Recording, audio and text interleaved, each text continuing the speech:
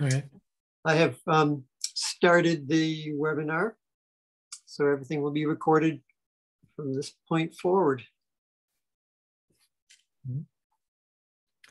We'll wait It will be available on uh, Friday evening is when they do the downloads, I believe. I'll be right back. I'm going to get my notebook.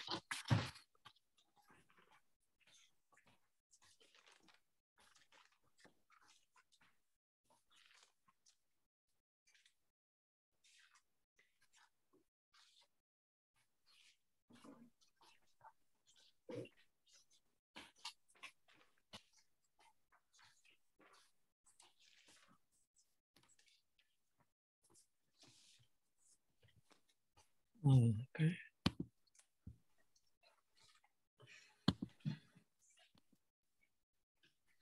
Uh, Britt is joining, so we'll have a quorum at least.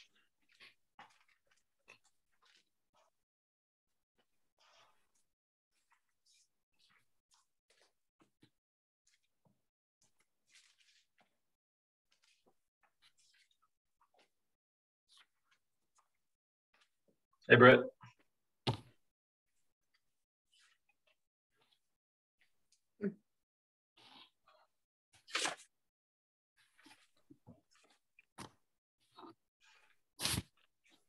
Um, Ellen's not coming, so just Shoshana and Julian.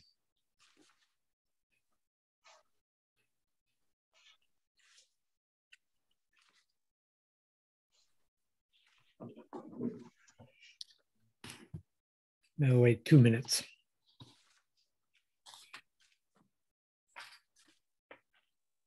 What's the last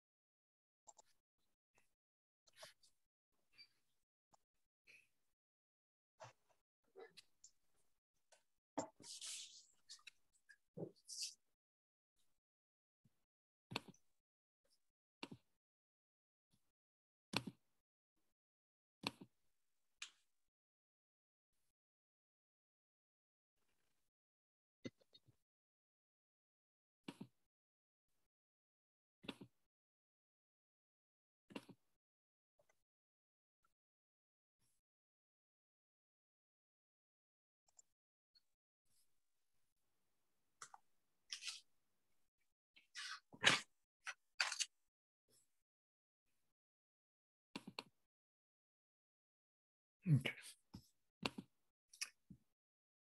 Well, should we start, I guess? Sure. Sounds good. Okay, well, welcome everybody. Um, I knew Julian was going to come. I haven't heard from Shoshana, but um, first item of business is, um, does someone else, let's uh, promote someone else who can um, check the panelists then, and I'll then share my screen. Sarah, do you want to do that? Yeah, I can do that. Okay. Can I promote you? I can get that. Okay.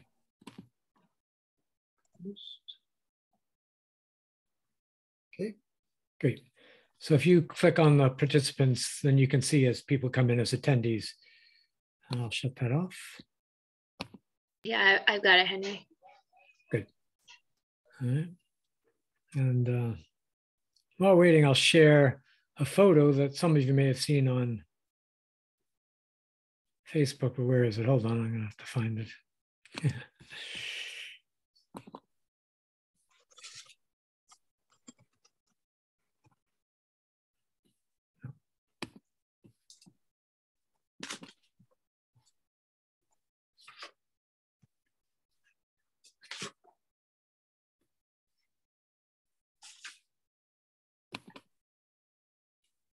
Okay.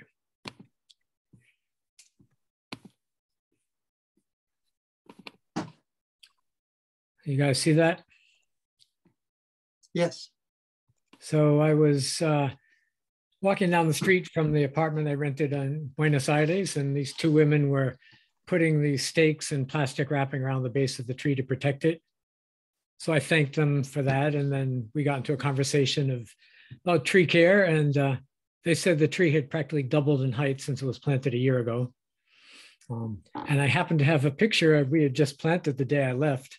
Right, I drove from our last planting to the airport, so I had a picture and showed them a picture of us planting the tree and on uh, McClellan Drive and uh, McClellan Street, whatever it is.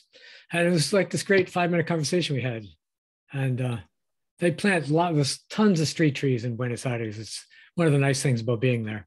And um, they keep planting more. And just like here, trees get damaged, dogs poop on them, cars crash into them, they get broken by people. But it's nice to see the neighbors uh, actually going out and taking care of them. So I thought I would share That's that. really cool. Yeah, you. thank you for sharing. Yeah so now I can share the agenda. Okay. And are there any announcements or no public comments, obviously? I'm going to change this view though. Okay, so I can see all of you better. Uh, oh, that's the tree hearing, wrong one. Where's the other one? Okay, is this what I'm sharing? The agenda? Yes, Okay, good. Um, so no public hearings. Um, Not that I'm Approval of the- approval of the November meetings and the August tree hearing minutes. Um, I sent you all both of those. And I checked, I watched the video, the end of the video, and what I wrote in the tree hearing minutes was what we agreed to. So if we can agree to that, we can approve it and pass it on to Alan to post. So I reviewed it. Looks good. All in favor of approving the minutes from, uh, I guess it was September, I forget what it was, September something. So August 9th, yeah, good. Okay, so that's approved, Alan. I'll send you another copy if you don't have it. yeah, if you could. And then um, the minutes from November, of November, whatever it was. November 8th. Um, Those get approved, good. everyone like them? Good? Thumbs up, yeah. Okay, so that's approved too. And can someone be the secretary today? Bennett? do you I'm do- already, I'm already on it. all right, that's great. Good. Um, so you probably don't need the actual wording because that'll be in the minutes from the other meetings. So, um, okay, do volunteer hours. Bennett, Um, yeah, uh, uh, say six. okay, Sarah, Three. Britt, I'm trying to think. So it does not include the last meeting, but it does include everything after that meeting until now, including this meeting, right? yes. Okay, know you a um, lot with the, uh, Yeah, I don't know. Let's say, let's say ten. That sounds right. Okay. And the planting. Yeah, so that's. okay. Yeah, I'm probably at about eight this month. All right, we'll check the others as they come in. Um, all right, so November meeting, chair report. I don't have a ton of things to report. Um, one thing I wanted to say was uh, it was great to be keeping an eye on emails while I was in Argentina and seeing how you, you know, I feel like sometimes I feel like I if I don't organize and encourage people, nothing gets done in the committee. But I was gone, and you guys just went ahead with the Mary Maple thing, and uh, that was great. I was really happy to read that and see, especially Britt as a new member taking charge of that. So thank you all for that. And let's see what else. Um, oh, there was an article in the paper that the town of Hadley actually did a tree planting. I think they planted four trees on the West Common, but it was nice to see they were doing something. Um, uh, we got an email from someone who, in response to um, the newsletter that um, Bennett puts out every month, saying Northampton Road is the place to plant trees. Oh, that's great. I don't know, don't, don't know that anybody's, that they're right. Yeah, so they responded to your request for locations. That's great.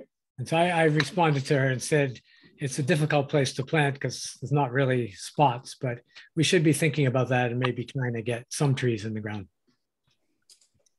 Um, and then there was also a request for trees on Greenwich or Greenwich Road. Did you see that, Alan? Yes. 64 Greenwich Road. So I don't, I think that's a public road and I don't know, It is. yeah. I, I'll reach out to them, but I'm not sure how we would do that. Yeah, Britt? Yeah, I would also suggest, you know, the mechanism of um, having people have to be proactive about saying where trees should be planted may um, be kind of an equity issue too, right? So like not everybody's going to be tuned into to what the local committees are doing or or how to even go about asking for trees. And so I think as a committee, me we might want to think about um, spots around town that, you know, maybe people are not requesting trees, but, but that might be able to benefit from trees as well.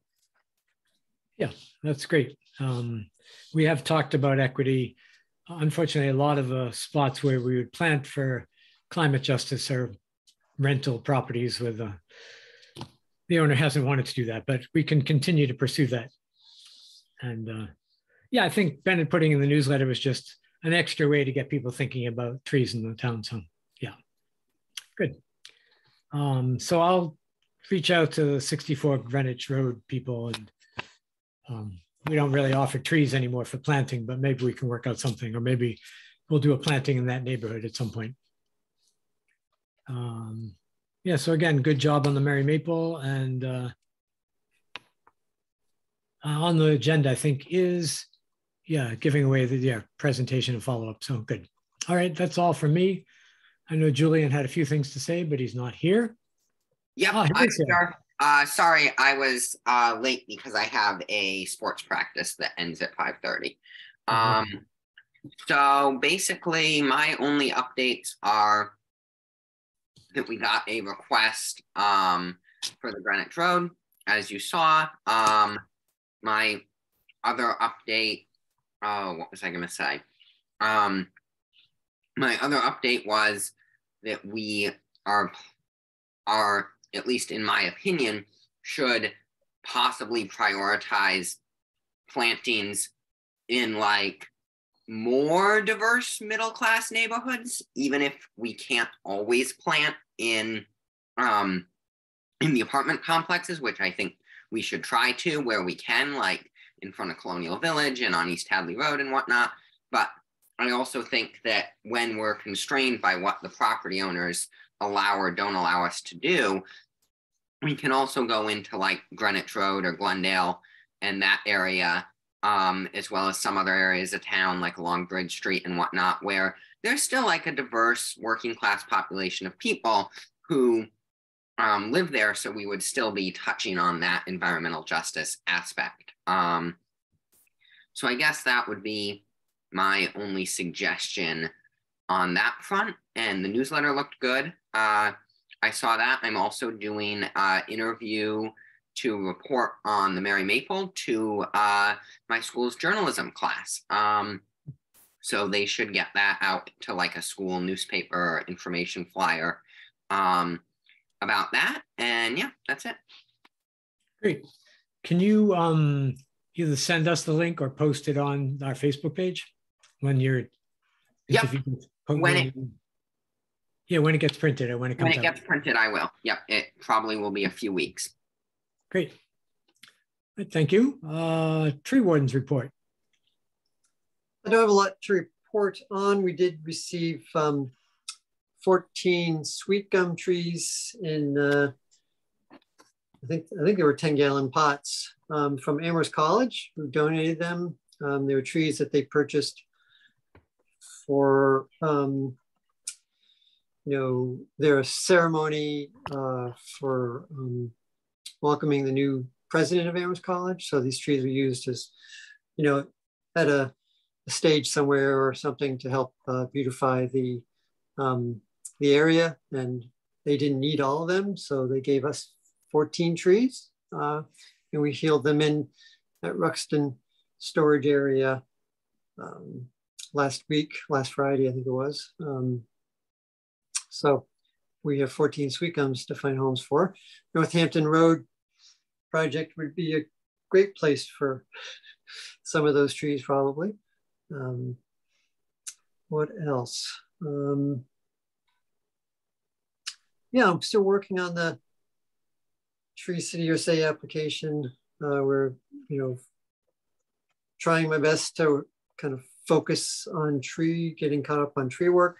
Um, now that, you know, we're done with most of our other cemetery duties and other things that the tree crew gets um, pulled into, and we're focusing on, currently focusing on uh, crown lifting along roadsides. So as you, as I've said before, the town is required to maintain 14 foot road clearance um, over all of our roads. Um, so we are concentrating on areas where we get complaints from bus drivers and uh, plow operators and things like that that say that the road is getting too overgrown to drive down uh, safely without driving into the other lane. So if you see a lot of freshly pruned trees along the roadside, um, we're really just focusing on getting the branches out of the road at this point. So um, I think that's it, really. Um, Okay. Um, yeah, great. Thank you. Maybe the Northampton Road could be our April planting location. Will the construction be done by then? It will not. So it may need to be a Okay. late summer or fall planting. Um, it's a two-year road project. and I don't know at what stage they'll be at it, you know, that time. Um, Okay. So we'll wait on that then. All right. Yeah. we'll see where they go. Yeah. Okay. Thank you. Uh, Sarah, treasurer's report. Yes. Um, we currently have fourteen thousand nine hundred twelve dollars and that reflects two deductions in November, uh, five hundred and seven to Amherst Nursery and six seventy-five to Sugarloaf Gardens. Um, but I did follow up on the past charges that were listed as payroll, Alan. There was one in July uh, for 302 and another in September, October, early October for 363. And that is a new change. Apparently, DPW has been instructed to charge for your time for doing tree committee plantings on the weekends for our second Saturday plantings to this account. And if that's not correct, then you, we need to talk to DPW and then DPW who billing needs to talk to accounting to get it straightened out. So I can, I actually did try to figure out what was going on there and I was told the same thing. So um,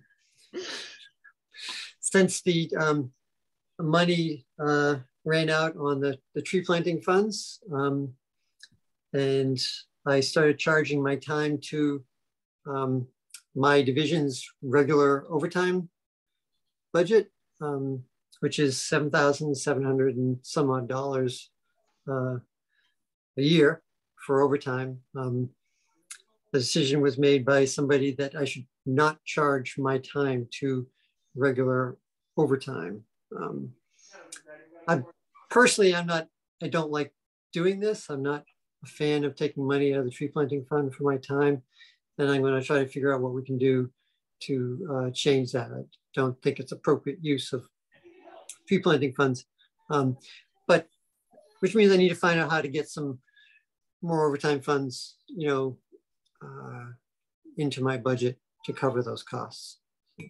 Yeah. I mean, that's, Um, the um, one of those charges uh, was a reimbursement to me. It was three hundred and ninety-three dollars reimbursed to me for buying the seedlings. So it was just simpler for me to purchase with a credit card the seedlings from the Mass Tree Wardens than it was to go through the whole procurement process. Um, so that was a reimbursement for the the 200 seedlings that we purchased uh, for Arbor Day. Okay. Um, And can I just there- interrupt? Yeah, Henry, go ahead. We don't need to sign off on those. I mean, you know, Sarah and I didn't sign or even know that you were. Yeah, either did I. And that's, yeah, so I don't know the details and all that, but I would like to correct it. So I will work to to correct that. I'm not, I don't want to continue to continue. Yeah, it's crazy. I mean, it's the exact opposite of what we're trying to do. Instead of getting a line item budget, we're being penalized. Right. And but to to that point, is there a statement or a paper trail or something that we could keep track of what's going on here and use it as part of our case for needing a line item budget? Like um, if Alan's time for the plantings is going to be charged to our account, then that should be factored into a line item budget for the tree committee so that we have funds for buying trees and paying Alan for that time you know, like if it's town money, it doesn't matter if it comes from his overtime account or if it comes from the tree account, as long as it's being funded. So we could, there, I think there's a case to be made here. Um, if we can kind of keep a paper trail or, or get someone to, you know, say something on the committee's behalf and use that for the next time they're voting for town Yeah. budget. So I do, um, so on the, on the withdrawal side of things, um, everything, every dime that DPW spends, you know, does go into the Munis system. So I get, I can actually get, uh, I don't know if you can see this spreadsheet um, out of the Munis system that shows what money was charged to that account. Can't see what goes into it. So we don't see who adds money to it, who donates money or whatever. Um, but this does show um, what it was spent for. So, um, and I can track that money um, this way, that part of it at least. Um, and again, I'm, you know, I think this Munis spreadsheet makes a perfect case for, you know, tracking and showing people why it's important, you know, that we fund tree planting, uh, the purchasing of those trees, um, and the planting of them. So.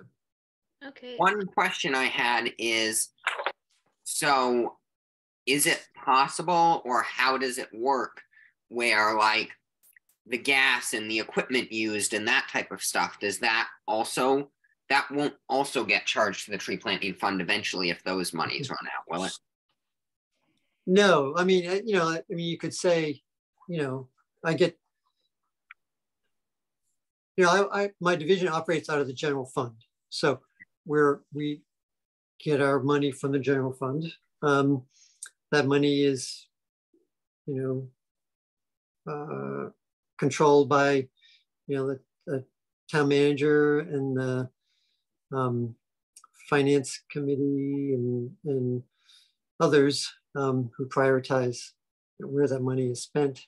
Uh, my fuel budget covers everything the division does. So, you know, being able, trying to break that stuff out is is difficult. I've, I've tried in the past to actually figure out how much money we're spending on, you know, tree care, um, not hanging banners, you know, not not mowing cemeteries and doing like that. It's, it's actually difficult to try to break all these costs out of this, the way it's set up. Um, so I don't Right. foresee the town charging for something like that out of this All right. fund. Um, Good. No, I just wanted to make sure. Um, I think that this certainly speaks to why we need a line item budget. And I mean, it's really sort of too bad in the first place that the town doesn't have adequate monies to compensate our staff for the work they do properly.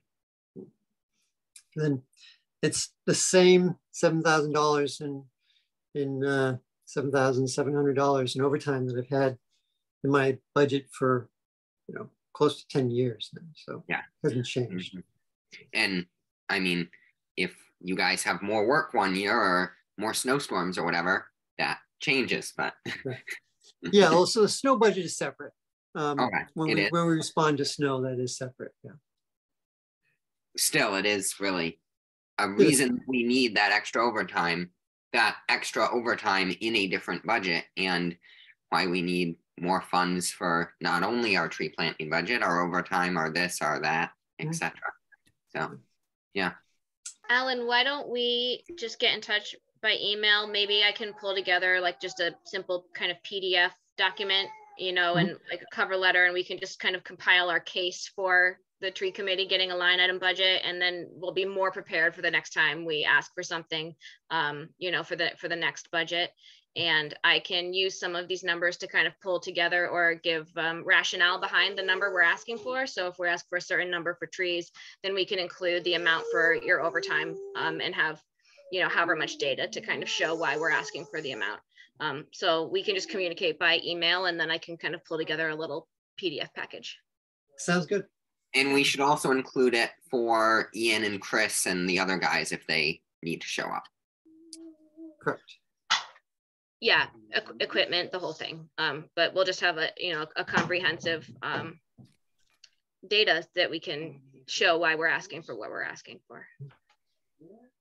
Okay, um, and that's, so that's it for the, um, the Okay, treasurer. well, I I have two more things about that. One is um, maybe until we get this resolved, I mean, maybe it'll be resolved before our next workday or planting, but we shouldn't use the other two town employees.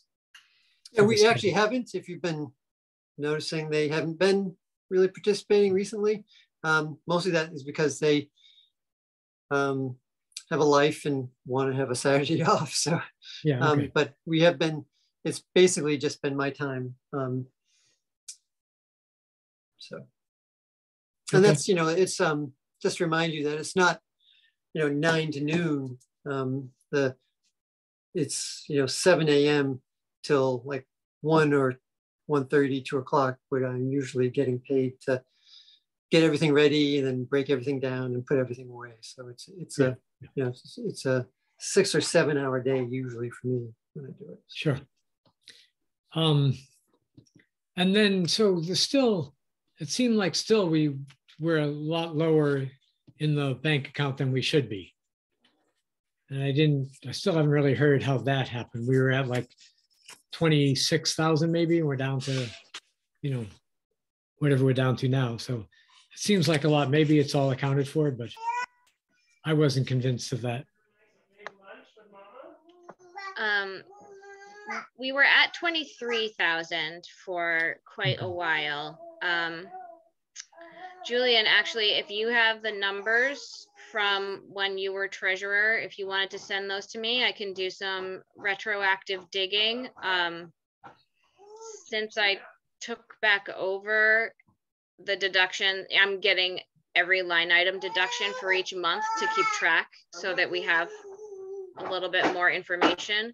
Um, and so far, it's all been tracking since October. Yeah, I remember my last treasurer's report was at twenty-six thousand eighty dollars and thirty-two cents. Um, so that was my last treasurer's report.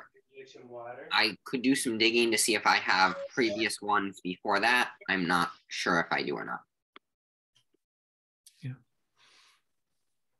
So that's, what are we at now again? Fourteen thousand nine hundred twelve. So it's eleven, eleven thousand dollar plus deduction. Which how the tree plantings cost three thousand dollars each time.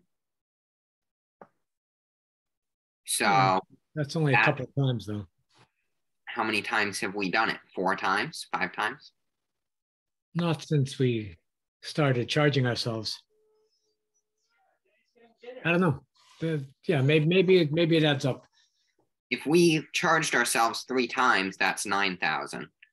So That would do it then. So, All right. So that adds up. Yeah. Okay, thanks. Um, should we move on to presentations and discussions? And Mary Maple, again, thank you all for all the work you did on that. Um, yeah, Julian, by the way, what's your hours for the month? Uh, my hours, I've put in twelve hours this month. Okay. All right. So follow up, um, one is the list of people that want to get wood. And then anything else we're gonna do write or say or do anything else. So. I'll So I, I have the list of people who want wood. Um, and I, so we collected, um, Nate, we collected emails at the event. And there were about 40, 45 people, um, on that list. So I sent out an email. Um, saying that pickup information would be forthcoming, but, um, asking if they could kind of let us know what size piece of wood they were looking for. So most people are looking for just the small rounds. A couple of people have specific um, larger projects in mind that Alan suggested we could probably accommodate because it sounds like there are some larger rounds and pieces. Um, so I have that information. I think the next step is for us to set a couple of pickup times and then I can communicate to everyone um, whose email I have um, uh, about that. Okay. Um, I have someone to add to the list. I'll send that to you afterwards. Okay. Um, and Bennett, maybe, um, if Britt sends you all the email addresses, you can add them to our our mailing on MailChimp. Yep, that's a great idea. Okay, so you'll send that to Britt. Ah, Britt will send it. Uh, to- I'll, I'll send it. Yes. Yeah, good. Thank you. Uh, that's good. All right. Um, so anyone, when should we do the pickup? Are you ready, Alan, to start dispersing? Um, yeah, I mean, as soon as I know who and how much, um, and what we need to do to, um, you know, get the wood ready. Um, I also wanted to cross-check our list to see if I had duplicates from the people. So if you could send the list out of uh, who has requested wood, I will just make sure we're not um, both contacting people. Okay. Um, So maybe it makes sense then for me to put, I, I, I've been behind this past week, but to put everything into a spreadsheet then um, with name, email, and then the request. Um, and then I can share that with both um, Bennett and with you, Alan, um, to check, um, to, to add the email and then to kind of check um, to make sure we're not duplicating efforts, Okay. um, duplicating requests. um, and more on the uh, Mary Maple um, Wood, the uh, 250th committee has requested to for us to investigate or for me to investigate. Um, there was a commitment made by the committee to place uh, several park benches around town, uh, in Park and such. Um, with the 250th um, kind of logo on it to commemorate the town's 250th anniversary. So we met last week, looked at the, the wood that we have available and decided that um, we have a couple options to do kind of non-traditional benches that might be interesting for people to sit on and appreciate and to, to you know, make a note somehow on the benches that they were made from the Mary Maple and have them placed around town. So that's what I'm going to work on in the next couple of weeks is finding somebody who can work with this wood and possibly has some ideas on how we can make some um, nice uh, benches out of it. I'm not talking about you know ripping it into two by fours. We're talking about using larger pieces of the wood uh, as uh, you know bench or sitting areas. So That's great. if anybody has seen anything they like, please feel free to share those kind of ideas and images with me. Um, Okay. That's good. Um, yeah. So back to the Mary Maple in general. Does anyone want to um, say anything about how the how the memorial went and um, the new Mary Maple lighting? Since I wasn't at either. Yeah, It was nice. Shoshana, is that you? Yeah, I didn't know you're here. Okay. Um, yeah. I couldn't come in through the, I never got like a email with a thing, so I came through the link on Facebook. Okay. Good. I heard it was a bigger turnout than they've had in years past. They actually had a pretty sizable turnout Yeah, For the event. yeah. it was, it was huge. There was tons of people there.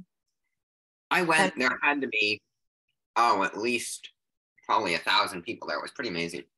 Well, a lot of people taking pictures on the stump, I think I heard, so. Yes, Yeah. it's true.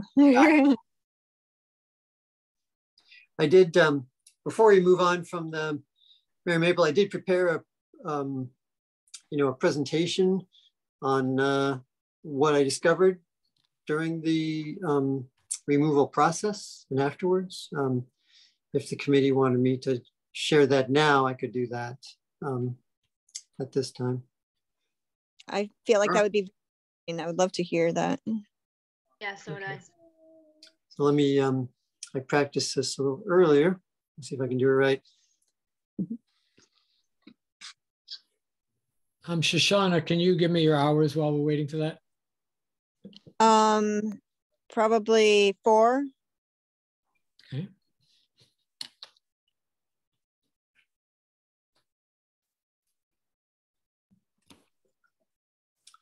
Okay, everybody see Yes. the text on the screen. All right.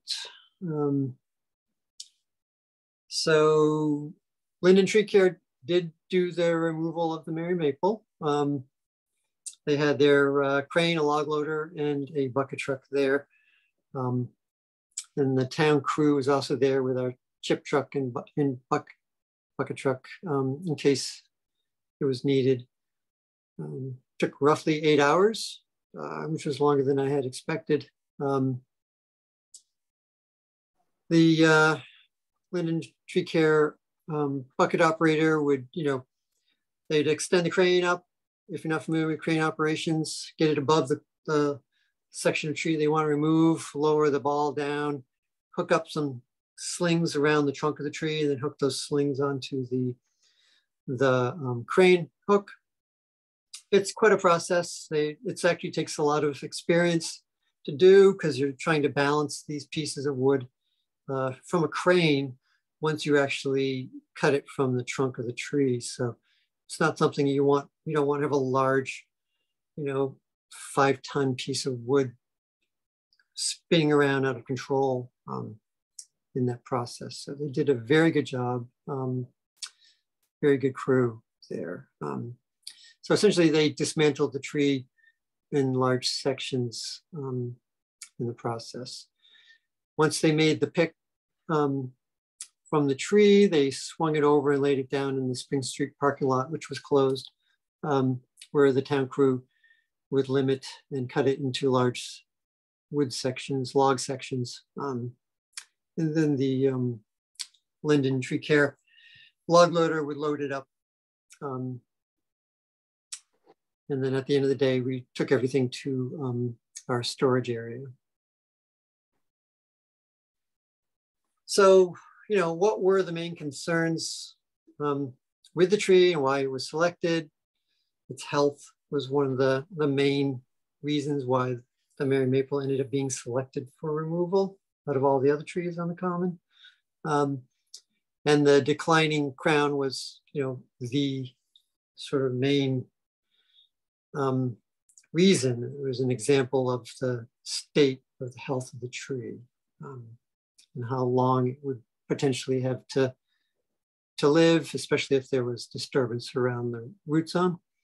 Um, the other issue there was the, the unknown ex extent, um, well, the, the weak branch unions um, that were there, um, and then the decay in the main trunk at those branch unions where it attaches to the main trunk. And then the overextended branches that were um, were very long um, with a lot of unbalanced sort of leverage at the tips of those branches. And you know, a lot of this, you know, the extended branches, the decay, the weak branch unions, um, well, a lot of that, as I have said in the past, could be mitigated through pruning and other things and cabling and bracing. Um, but there wasn't much I could do about the declining health. Uh, so the, the, the crown was thin, it was notably thin. Um, this picture actually didn't do a very good job of showing how thin the crown was, but you know, you shouldn't be able to look, look up through a crown of a healthy tree like this. It should be much fuller. Um, and then that branch union where there was already some branches that had been removed or had failed. Um, and the, there's obvious decay in the in that area, but again, with the trunk, you can't see inside the trunk without some special tools. Um, so really couldn't tell for sure what the extent of decay was. Um, so after we took it down, um, so this is this is that area that um, I just showed. Um, and if you look at the upper right top arrow, it points to, you know, a decay area in the trunk of the tree with some discoloration of the wood where decay was present. Um, again, it's not outside the allowable limits of decay in a, in a, in a piece of wood that size. Um, but it's just an, shows the extent of decay. Decay likes to go up in a tree, in a wood of a tree, it likes to travel up. The tree has better defenses against decay that travels down um, in a trunk. Um, and the, the arrow on the left points to another example. The middle arrow is pointing to an area where it was just, you know, organic matter and root mass. So the tree was actually sending fine root hairs out into the organic matter that was forming in the middle of this, these, this branch union there. Um, and then uh, the other two arrows are pointing to branch, one branch failure and a branch that had been pruned away. So um, this circle indicates a crack that developed after the tree was removed and in the, in the process of lifting this piece with the crane, um, this the leader that we're looking at here is actually the main leader of the tree, the one that was in decline. Um, and a crack actually developed there during the removal process. Doesn't mean it would have failed, but um, it means that there was a weak spot there. So, so what I'm looking at, what we're all looking at here is the bottom, sorry, the top of um, this piece would have sat on top of what, sorry, rephrase this. Let me see if I can back up. This piece here sat on top of this. Um, so if you turn this piece up, so this was facing straight up in the air, the bottom piece was connected to the stump part. This part was connected to the part that we were just looking at. And what you're looking at here is a lot of decay. Um, at that uh, Alan, is this a, I'm sorry, is this a leader or is this the trunk? This is the, trunk. trunk. Okay. So on the right, the right hand side there, um, you'll see like this flat piece that's kind of funnel shaped. Um, that was where the main leader came off the tree. Um, the see at the very bottom of the trunk um, is you'll see kind of a decay spot, discoloration there. Um, that's where the main leader attached to the tree. Um, but the big the takeaway for me here is that this decay went up into um, into those leaders that we were just looking at. and there was not a lot of wood there holding them all together. So there was very, you know, very weak um, area. It wasn't, again, it wasn't, hadn't reached that critical um, stage where the decay was so significant that it would be considered a risk tree because it couldn't be mitigated some way because we could mitigate it. But there was a lot of decay there. Um, that's dense organic matter with lots of fine root hairs growing in it. Um, so. So, um, um, did I interrupt? Uh, um, but sh- would it be a good idea for me to share some of these pictures on our social media so that people can see the decay or should I like leave well enough alone? Like Yeah. what what's the opinion of everyone on that? So I've I've been tossing that back and forth in my mind, like what's best for the people in their mind. Yeah, so, you know, you, you can have, um, you know, 10 arborists look at a picture and they'll probably give you 10, 10 different assessments of that picture. Um, and you need to have the whole thing in context. Um, so I guess, you know, this presentation is going to be posted on the town website. Um, because it's part of your, your, your- committee meeting. So you can Mhm. reference that.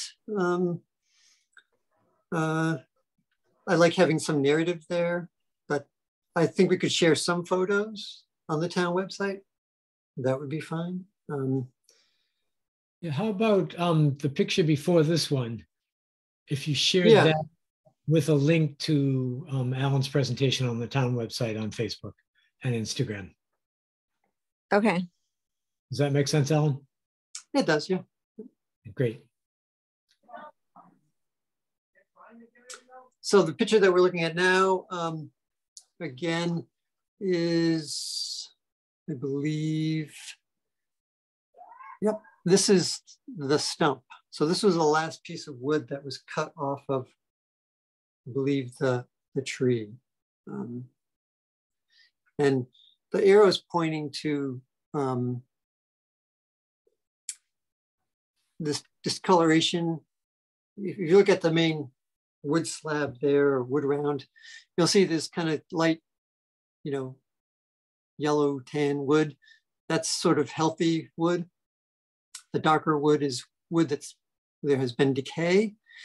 And at the, the bottom of the picture where the arrow is pointing, it's actually, you know, out towards what a generic name as sap wood, which is where, you know, that conductive healthy tissue is transporting nutrients up and down um, the tree. Um, that's punky wood out there. Um, and that's sort of what's referred to as sap wood decay or sap rot. Um, that is not healthy conductive tissue. It's not doing anything anymore. Um, and it's um, an indication of poor health of the tree. So um, the tree is not translocating anymore, either from the leaves or from the roots um, you know, back and forth. It's just dead tissue. Um, and that was, this is the side of the tree that kind of fed up to the main leader of the tree, which is um, possibly a good idea why the main leader of the tree was not, you know, was declining faster than the rest of the tree. But um, this was, the tree had lost the ability to compartmentalize the decay in this area and, and the decay was spreading. So, but again, didn't mean the tree had to be cut down. It was not a risk tree. It just was a, a sign of poor health uh, and declining health. This is another piece of that section there. So the, again, you've got these um, top left-hand corner is a, is sort of the decay barrier there. The wall, the tree's defense trying to wall off decay as it's spreading into the, the wood of the tree. Um, and you can see that it's slowly spreading out from the center. Um, the bottom right-hand corner arrow is showing you where the, this decay is getting closer and closer to the sapwood of the tree. So pretty soon it was going to, you know, impact the, the ability of the tree to transport um, water nutrients um, up and down the tree. So, and then the um, middle arrow is just pointing to punky wood that, you know, looks like carpenter ants, uh, possibly termites have been working in that center of the tree, that leader of the trees, excuse me, not the, not the main trunk. And then further up, there was that large leader that was overextended and headed out towards Spring Street parking lot. You know, the crown was pretty healthy. The leaf, the leaf um, uh, leaf surface was pretty healthy. Uh, what the arrow points to here is the, so the center of that is obviously decay. It's punky, rotted wood or hollow. Um, and the top right hand arrow is just pointing to the amount of sound holding wood we have on that, on that branch at that point in the tree. Um, so that's pretty thin uh, for a branch that size to be supported. And at the bottom right hand or left hand corner, it's pointing to um, you know, wound wood that was essentially growing around a crack in the tree. Um, and that's punky wood. Um, it's not sound wood around there. Um, so that was a, a, not structurally sound component. So the top portion of this branch cut here um, was under tension because the tree went leader went out and the gravity is pulling it down. So the top wood there was all under tension. Uh, the bottom portion of that, if you cut a, put a line right through the center of that horizontally, the bottom portion of that wood was all under compression um, from the weight of the branch. And um, there was a lot of, a lot going on there structurally. It was not surprising, it really surprised me how weak this branch was and still holding good. It was cabled, so that helped. the cable did something, I'm sure, there. Um, so this is that branch there. This is the part that was cut off um, from that branch. And again, you'll see this kind of, you know, rot in the center tree. There's no structural value to that. Um, at the top left center sorry, top center of the picture um, is some of that um, sort of wound wood or tension wood that was, uh, um, I believe this was the top portion. I'm confused now, I apologize.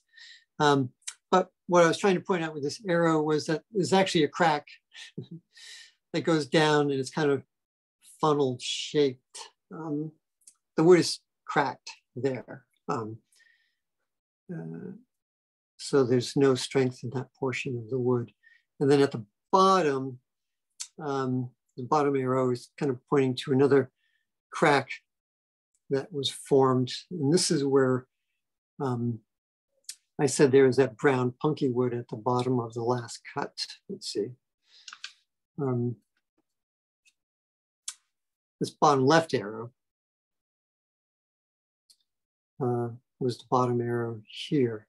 So again, there's a crack there that goes almost out to the healthy tissue. So a lot of lot of um, forces acting on wood that is you know compromised. Um, and I, without the cable, I would imagine this branch would have failed.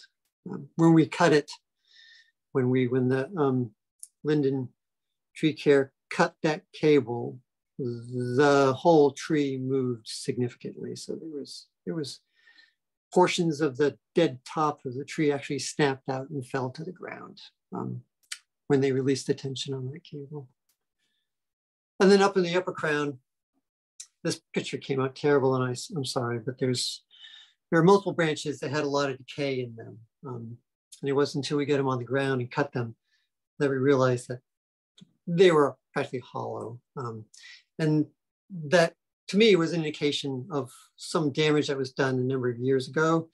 My thought was possibly the October snowstorm that just stressed a lot of trees, created a lot of kind of micro cracks in the wood of the tree. And over time, decay has worked its way through the branch. And we see this in a lot of trees around town. Um, so in just a rough conclusion, um, saprot fungi was actively spreading in the tree. Again, not a not a structural issue, but a health issue of the tree in a state of decline. Um, decay at the, the main trunk branch union was extensive, but again, not had reached that critical threshold yet. And um, decay in the overextended branches was more extensive than I had uh, had been thinking possible there. So um, again, this is the Mary Maple uh, the mini Mary Maple that is lit now. And this is from 2014. So um, we will hopefully continue the Mary Maple um, history going forward. Let me close this out. Actually, Alan, can you just hold, uh, uh, I have, just for my notes, um, if he's bringing, uh, just give me two seconds. I'm just gonna get one more point here.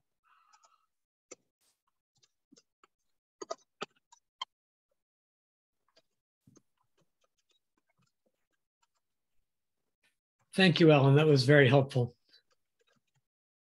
That was very, very informative. And I think that most community members who see this will get a much better understanding. So I appreciate that. Yes, thank you. I've had a couple of people ask me um, if anyone has aged the tree. Ah, Um, yes. so I have been trying to count rings on the tree since we took it down, and it's difficult actually. Um, the rings aren't very obvious, um, but when the wood is wet, it's, it becomes they actually pop out pretty good. Um, so I have to say that the the estimate that came up days before the tree was scheduled to be removed. Um, completely blew my guess at the tree being you know 80 80 or so years old. Um, it definitely was you know like 100 and you know 60 years old or so. So it was one of the earliest Norway maples planted in this country i would say probably because the Norway maple um, wasn't really in production in the country until like 1860s i think um, so you really couldn't even get them at a nursery um, bennett you all set with that Yeah, I'm sorry. Thank you. Yeah, and from my understanding, and correct me if I'm wrong, Norway maples don't normally live that long. Yeah, I mean that's my in my experience, definitely with street trees and even park trees. And most a lot of the Norway maples that we've planted around town in the in the 70s are aging out now. I mean, we don't have a lot of healthy Norway maples around. Um, and these are trees that aren't on the roadside; they're in parks, you know. Um, but uh, that you know, it just makes it all more sad, you know, that this old tree had managed had managed to find its, you know, happy place to grow. It liked growing there. Um, it was doing pretty good for a long time. So Yeah, and it's really a shame because it means there was 160 some odd years of this discussion not having to happen, which is pretty impressive for a tree that size. unfortunately, it happens to all of us at some point in time. So. Mhm. Uh, Shoshana, you still have a hand raised? Um, yeah, I'll take that down. Yeah, the last thing that I wanted to bring up on the mary Maple is that um, we have all these memories that have been collected. Um, so Claudia at the Chamber of Commerce, I think, um, said that after, so she had the box in which people were submitting their memories um, at the event, the uh, you know pre-removal event. And she said that it was so full that she had to remove all of those um, papers and store them. And then they put it out again at the farmer's market the following weekend or that weekend. And then they also put it back out at the lighting of the mini maple. Um, and so I think we as a committee need to decide what the next steps are on that. I would be happy to go and um, kind of collect the thing, the the submissions and see what we're working with, and then maybe um, you know propose something to the committee in terms of you know whether or not we want to try to display memories or archive them immediately, or you know kind of open that for a discussion once I see what what we have.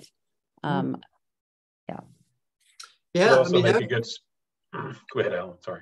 no, I was gonna say we could definitely look at having those scanned electronically, so that and then um, having them, you know, put in the archives at Jones Library or something like that. Um,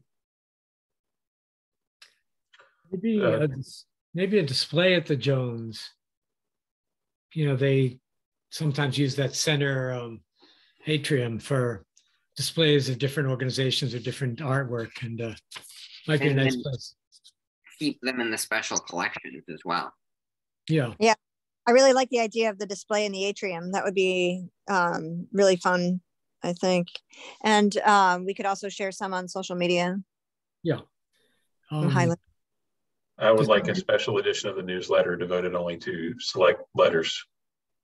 I assume some of them would be really cool. it's great. Yeah. Um, Britt could probably use some help with that. Does anyone want to work on that? Or Yeah, I'll help Britt with that project. I can give you a hand. Great. Thanks.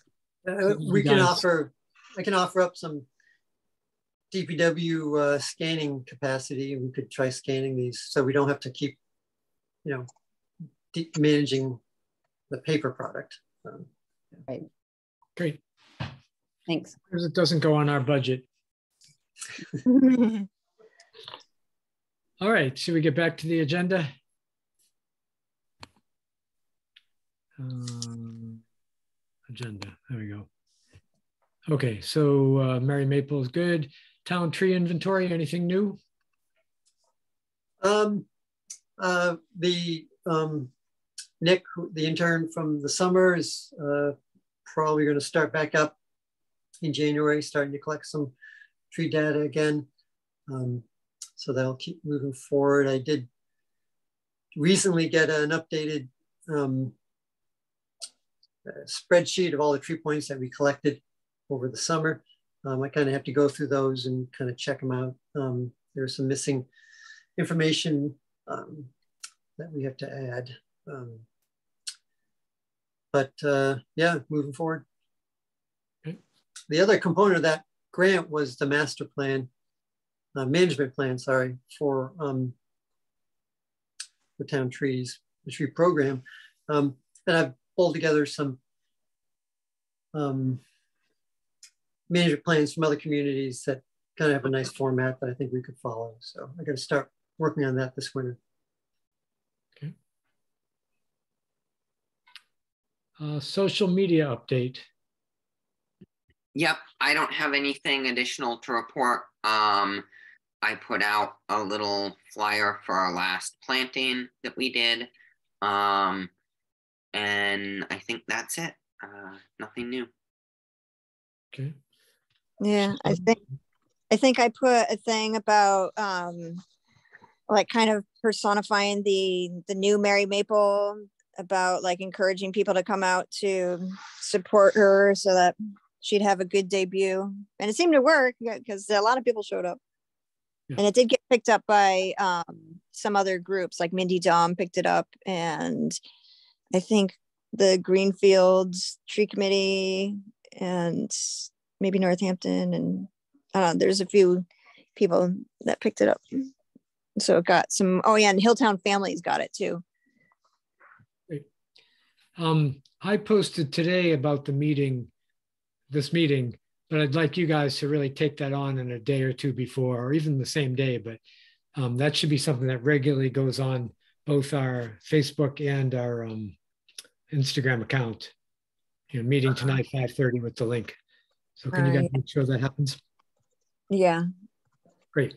I need to be able to get the link. I don't know why I didn't get like any sort of email link or anything. And usually Angela sent something. Well, I think that um, I deal with this on the newsletter. I think that the link that we get, uh, you're having difficulty finding, and that's a problem for you as a committee member. But the public link is generally always available in the Amherst Town calendar. So that that one's whenever I write the newsletter, I just go to the town calendar and copy paste directly from there. Okay, cool. Yeah, yeah. True that. All right. Um, the town tree tour, Ellen and I are going to get together next week to uh, start working on the brochure for that. So that is finally in process. Um, second Saturday plantings for next year. Do we have any more to say on that? Um, we should be looking at places like Britt suggested, thinking about social justice areas and getting a list of places to plant and take care of trees. So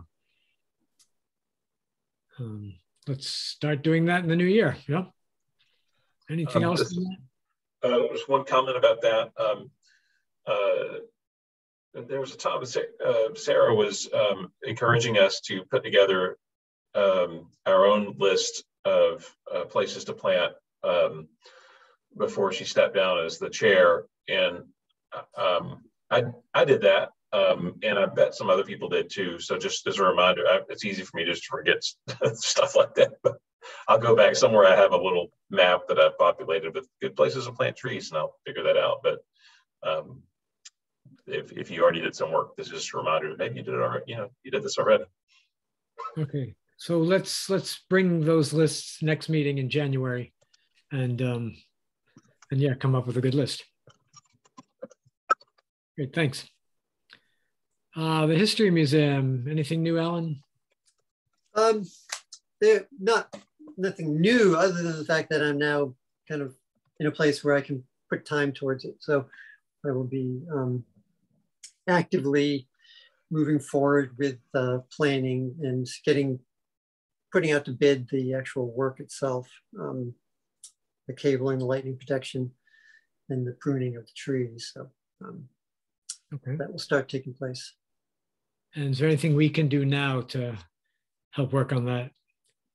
I think you're all set for now. It's just going to be, I, I'm hoping that in uh, January, I'll have uh, more contact with the Amherst History Museum and, and try to figure out you know, what they want to do as far as um, public outreach and possible fundraising. I- Is this in regard to the groom tree out front of the Ye- his- Yes. Okay. And the bride tree will plant at whatever day we do a work day there. Yep. A second wife, a third wife, whatever it is. All right, um, town budget line item, Bennett, you were gonna do something on that? You were gonna reach out to one of the. I town- was, and I didn't. Um, and I will. Thank you. Anything else? I have a quick update on that, which is that um we have a few uh different folks who I have informed of our work on the town budget line item, um different organizations from around town who work within the budget and they all seemed supportive and willing to advocate for it, including the ECAC and uh the Amherst Climate Justice Alliance.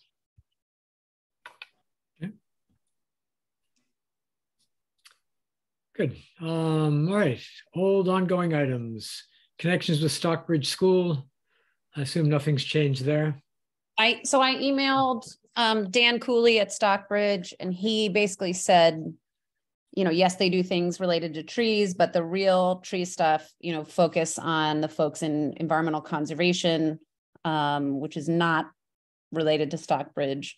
Um, and so I emailed Christina Bezanson, I don't know how to pronounce her last name. Um, and she got back to me and she said, um, she said she has Alan in her seminar every year. She said um, she would be happy to advertise meetings and events to her students and um, in the tree program, um, including related to plantings and volunteering opportunities.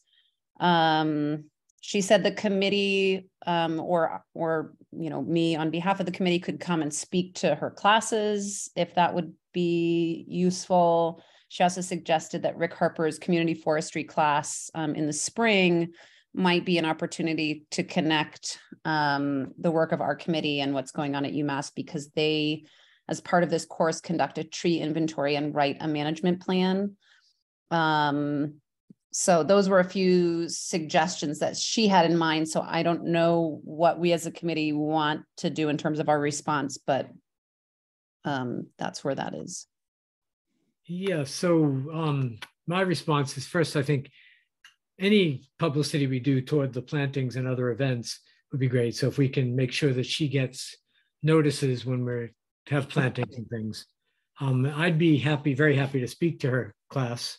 Um, I could do with you or myself or Sure. whatever. So if you want to let her know that, Okay, um, she can be in touch with me or I can contact her at that point. Why don't you continue the initial contact and then okay, that'd be great. sounds good. Okay. Uh, thank you. Northampton Road, we talked about a little bit. Uh, Uh, I no took update. Pictures and put them into the, um, that file that's on our Google group page. Okay. Um, not sure, you mean on our Google Drive? Yeah, yeah, yeah, in the Google Drive, the, the town Google Drive thing there, whatever it's called. Look for that, yeah. Very good, thanks. Library trees. Anything new, Sarah? Well, the construction's not happening at the moment, but Um, yeah, no, no news on my end. Um, Yeah. but we're interested in having someone come and talk to the committee. Is that true? yeah, I think we, um, my goal was that one of us follows when they're having meetings, especially construction planning meetings, and figure out how to save as many trees as possible and how to do protection around the trees that they do keep before before the plans get finalized. So, yeah, Okay, Let's- we'll keep an eye on that still. great. Yeah. All right, website update, Bennett. You're muted.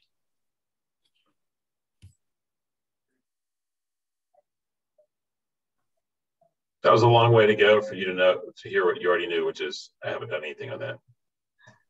Okay, just checking in. So, good. Thank you. Um, complete street state level initiatives. Uh, I haven't done anything since. Julian, have you had anything go on with that? No. Okay.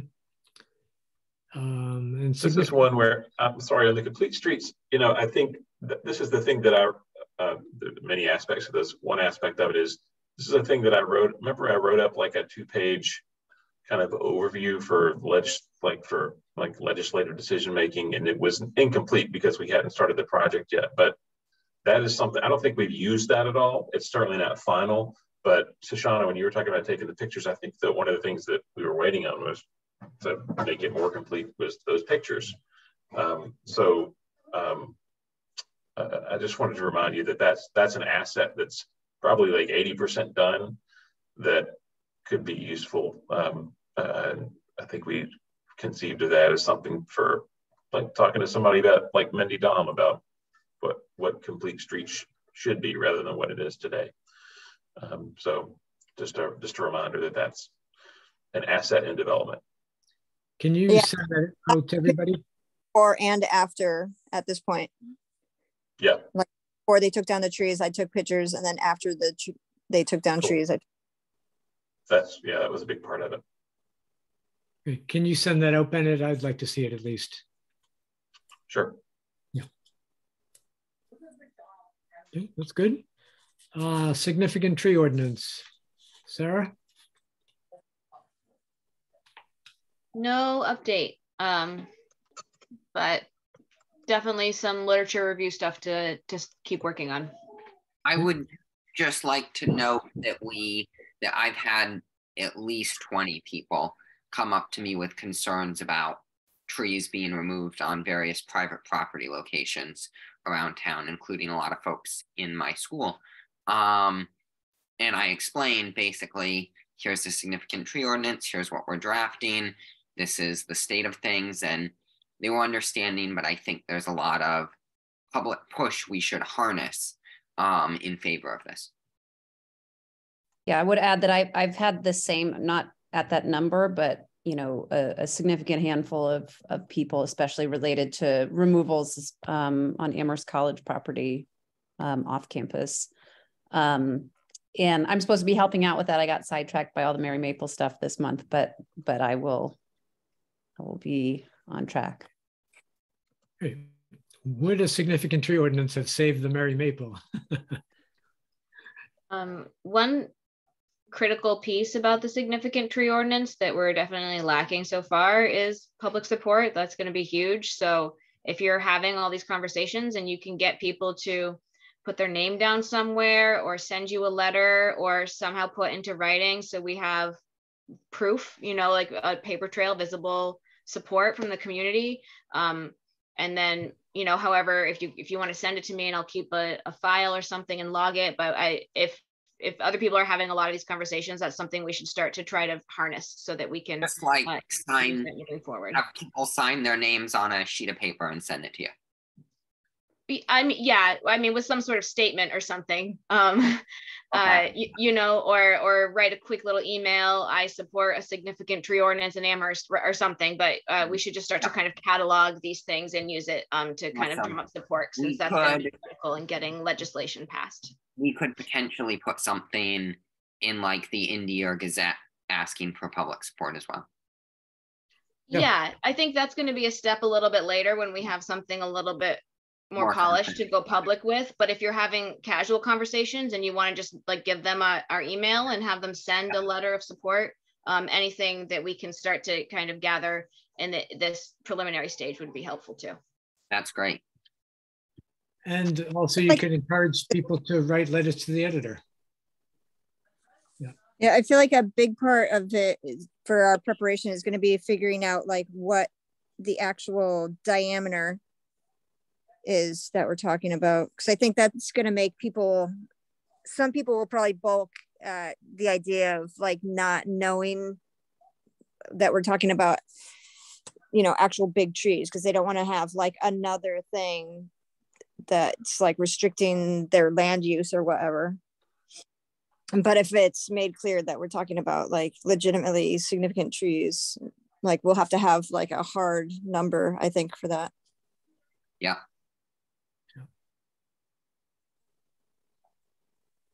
anything else? All right, last, oh, go ahead. Not on that topic. Okay, Sorry. go ahead and then we'll go to the solar bylaw group. Well, should I save it for, I didn't know if you were trying to move on to like the end of things, or I can save it for committee comments if that is better. No, say it now, why not? Yeah, okay. Um, yeah, I just had, I had three thoughts kind of coming out of the, the whole Merry Maple thing and talking with a lot of members of the community about, about trees. And um, the first is that, I guess it's a question, is there a process for making sure that we as a committee see all of the statements that come in around a particular tree? So in the case of the Merry Maple, I don't know if it's because I wasn't on the committee earlier on, but I had lots of people say, oh, I sent a letter uh, to the committee, or I sent a letter to Paul Bockelman. And many of those letters, I, I never heard a single one of those letters referenced in any of these meetings. So I'm wondering if if they went to Paul Bockelman, is there even any process that then gets them to us, right? Like as a committee, it seemed like there weren't a lot of people who were, you know, that concerned about the tree. There were a handful, right? And the, this tree is just an example. Um, but then after the fact, all these people spoke up and said, no, I wrote a letter. I, I, I tried to get in touch. Um, but I feel like we didn't, we didn't have a full picture of that information. So I'm wondering if there's, there's a process by which, or a new process that we can implement that makes sure, makes sure that, um, you know, there's some kind of communication between the committees and the town manager, you know, I don't, I don't, I don't know. Um, so that's my first question or, or point So, that I want to make sure is out there. Yeah. To that, um, several of the letters came into the um, tree committee um, email at email box at Gmail, and I responded to all those, and they're archived in the in our Gmail account. Okay, but they Mm-hmm. were never mentioned to the committee, is that right? I usually mention when I heard, you know, like uh, we got two letters about this. Yeah. Um, Okay, I usually do that. Um, I can also send you relevant ones if you're interested. And then some come to me personally. And in my Right. chair's report, I always announce what comes into both of those. Okay. yeah, it's not, I'm, I'm not worried about the Merry Maple at this point, but I, I think making sure going forward that any letters that come in to the committee email or to individual committee members are brought to the attention of the full committee so that we have a clearer picture of, you know, what the public is feeling about a particular tree, right? So if if you know if we know that there are 30 people who across all of us have sent in letters that might change the way the committee is thinking compared to if we think there are two letters that have come in, right? In the so future, I'm not sure if this is possible, but in the future, could we have it, and I would be happy to do this, where if we get any public comments that are explicitly public comments, we forward them to all the committee members. Yeah, I think something like That would be great. And and just in in you know this conversation that's happening now, it occurs to me, you know, what if we put a a Google form on the website um, where if people have a comment to make about a specific tree, including a tree hearing, um, then it goes into there, and then that's something that the full committee is is made aware of when a comment comes in. But then, of course, also making sure that yes, maybe we forward um, anything that we get as a committee or maybe I- as individuals on the committee for everyone. I check the committee email at least twice a day and um, would be more than happy to compile any comments we get in advance of a tree hearing via email in a Google Doc and share it with all of you. Great. I, I think that would be helpful. Yeah. I always, I always share generally. I always check before the meeting and both mine and the committees and send in what I have. And then some people write to Alan and Paul directly. Right. Alan usually responds and tells us, but Paul, yeah, we don't really know what That's- happened. Right. Um, great. Okay. And then the second is that I think, I think we as a committee need to think about our strategy for getting out the word about tree meetings and hearings. And I know that we're already working on that. But if there's a big, a big hearing um, or something that we know is going to be big in the community, maybe thinking about the newspapers, you know, I think, I think, yes, like more public participation can make things challenging from, you know, for the people who are making decisions, but I think it's really necessary. Um, you know, I just heard so many people with the Merry Maple say, like, I, I didn't know. I didn't know this was happening. I didn't know that the tree was coming down. I didn't know there had been, you know, however many opportunities to engage on this. And so, you know, in, in some ways, yes, that's that's on them. But but if we can do a better job of making sure that we're getting the word out, I think that would be I mean, at least for me, there was a lot more publicity after we made our decision, right, exactly. after the decisions were made, than beforehand. And I think I share your frustration that beforehand is the better time to do that. Yes. And then my third point, and I'm sorry I'm taking up so much time on this. My third point or my third issue that I would, you know, want to raise to the committee is um, you know, in in these these projects like the the town common project, um, it feels like the dis, the planning of these projects happens um, without any representation for the trees in the planning phase. And so then what happens is it becomes the project and the trees get pitted against each other. Um, you know, if we don't cut down these trees, then this project doesn't move forward, right? And so I, I know, I'm sure there would be some resistance to this um, from various entities in in the town government, right? But but is there a way for the committee, whether it's just the tree committee or the tree and climate committee or whatever committees, to be more engaged in the planning phases of projects that have a significant impact on our town environment. So I would just raise that perhaps as something we come back to later, you know, but so we don't we don't end up again with these projects that move forward without any environmental considerations then being pitted against, you know, it's it's one or the other because the decisions have already been made or the projects mm-hmm. have already been designed. Yeah, these are great ideas. Um, I do want to say that we've come a long way in that regard, and we still have a long way to go. Um, when I first joined the committee, the things were already finalized before anything came to us, and now some of the the planning board, a lot of those places reach out at least to Alan, and we hear about it much sooner.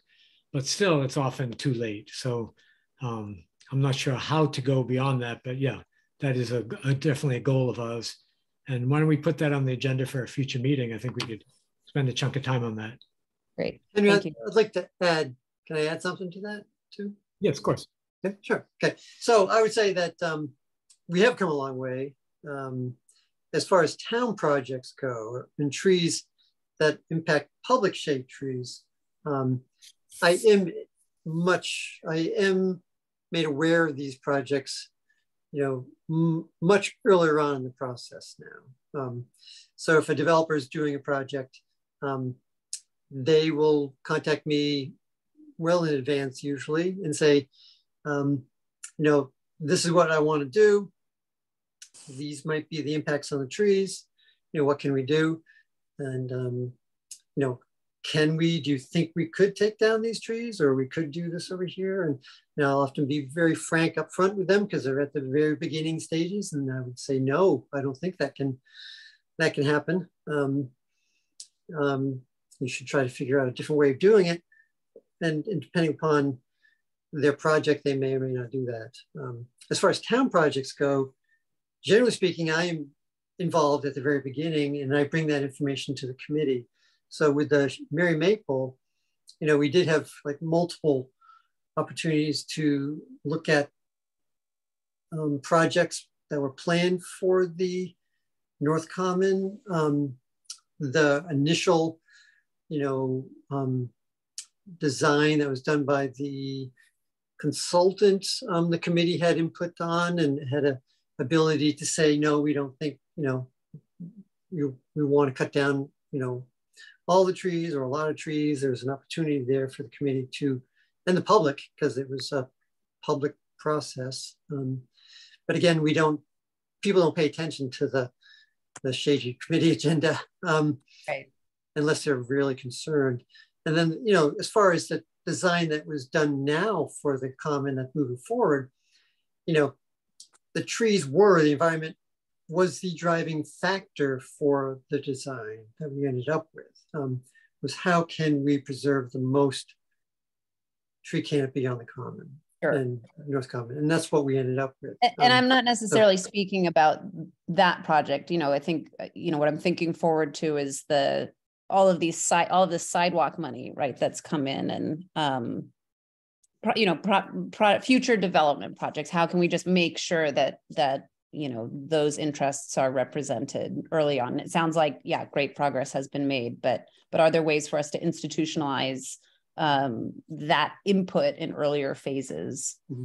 um, i think that would be i think that would be good. I agree. Good. No thank you for those comments. It's great Britt. Um, all right yeah, last last agenda item and then we can uh, retire um, solar bylaw group, do you have anything, Julian? Uh, no updates there. They haven't had a meeting in a little while. Okay. Any other comments by the committee or any public who are not here?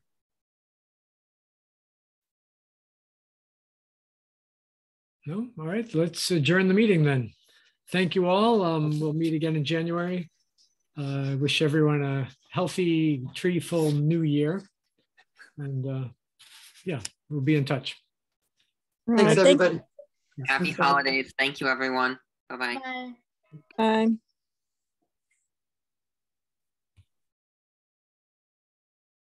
-hmm.